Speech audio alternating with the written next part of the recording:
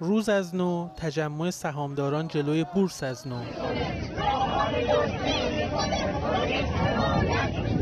ساعتی بعد نامه استعفای رئیس سازمان بورس پس از نه ماه ریاست منتشر شد. در نامه حسن قالیباف اصل آمده به دلیل فراهم نشدن شرایط حمایت از صنایع، بازار سرمایه و سرمایه گذاران استعفای خود را از هیئت مدیره و ریاست سازمان بورس و اوراق بهادار مجددا اعلام می کنم. من در سختترین شرایط که مردم دعوت عمومی به بازار سرمایه شده بودند این وظیفه را به عهده گرفتم در کمترین زمان بزرگترین کارها در بازار سرمایه انجام شد ولی به واسطه اقدامات سیاسی و ورود غیرحرفه‌ای و بیش از حد مسئولین به مباحث بازار سرمایه و افت و خیز شدید شاخص کل بورس تهران هیچ وقت دیده نشد. اعتراض ها به مدیریت بورس چند وقتی است بالا گرفته و یک روز قبل هم معترضان پرچم سازمان بورس را پایین کشیده بودند.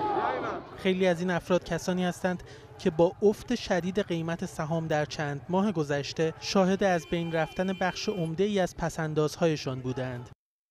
یک سال پیش شاخص کل بورس تهران حدود 400 هزار واحد بود. از آن زمان تا 19 مرداد امسال شاخص بیش از 5 برابر شد و به بالای دو میلیون واحد رسید. ولی در پنج ماه گذشته تقریبا نصف شد و تا یک میلیون و هزار واحد پایین آمده. فعالان اقتصادی انتظار داشتند با ادامه روند موجود تو اقتصاد ایران یه تورم خیلی شدیدی اتفاق بیفته.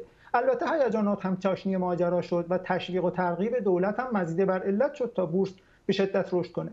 ولی الان با تغییر رئیس جمهور آمریکا و البته یه سری کارهایی که بانک مرکزی برای کنترل نقدینگی انجام داده اون چشمانداز ابر تورمی فروکش کرده.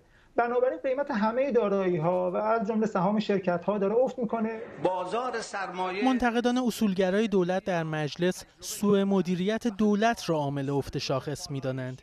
یک روز پس از درخواست نایب رئیس مجلس از رئیس قوه قضاییه برای برخورد با متخلفان رئیس مجلس گفت با وزیر اقتصاد و رئیس سازمان بورس برخورد می شود نمی شود پشت تریبون های رسمی از مردم دعوت کرد تا همه چیز را به بورس بسپارند و بعد با سوء مدیریت در این بازار به اعتماد مردم ضربه بزنند و سرمایه آنها را کم ارزش کند وزیر اقتصاد و رئیس سازمان بورس به کمیسیون اقتصادی احضار شده اند و در صورتی که سوء مدیریت آنها برای نمایندگان محترم مردم احراز شود مجلس با آنها قاطعانه برخود خواهد کرد.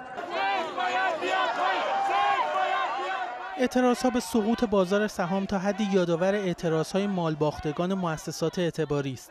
بحرانی که در نهایت به دخالت دولت و بانک مرکزی منجر شد. دولت اون موقع جمع کردن ماجرای اون مؤسسات رو به عنوان یکی از موفقیت های خودش معرفی می‌کرد. ولی اقتصاددان ها بارها گفتن که اون کار واقعا با موفقیت انجام نشد. چون اومدن با ایجاد یه حجم زیادی از نقدینگی های جدید که معناش تحمیل تورم به کل جامعه است. ضرر و زیان بخشی از مردم رو جبران کردن. البته اون تجربه هم شاید به کسایی که می‌خواستن وارد بورس بشن این سیگنال خطرناک رو داد که حتی اگر هم ضرر کردی دولت میاد پولش میده. دولت حسن روحانی روی فروش سهام برای تأمین هزینه هایش در بودجه امسال و سال آینده حساب ویژه‌ای باز کرده. ولی حالا با سقوط قیمت ها در مخمسه افتاده.